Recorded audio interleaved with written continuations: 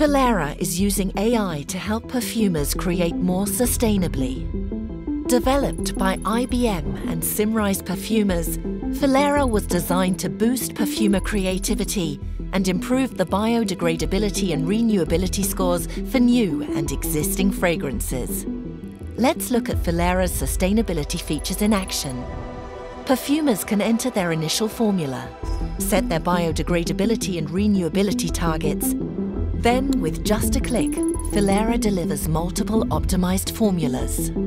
Perfumers can quickly identify which formula is the most sustainable, given the specific sustainability palette restrictions. They can see which ingredients were removed, added or replaced, and monitor hedonic evolution so they can better decide which formulas meet their sustainability and creativity criteria.